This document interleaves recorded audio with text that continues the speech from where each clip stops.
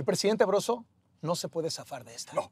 Es No. su consejero jurídico, ¿Quién lo su puso? principal operador ¿Quién lo político con oficina en Palacio Nacional que puso él. Dos, su fiscal general, al que él impulsó y le depositó una y otra vez toda la confianza, y su secretaria de gobernación. Nada más. Los tres están en el pantano. Broso, Así es. el presidente está manchado. Eh. El presidente está chapoteando en el lodo de la corrupción.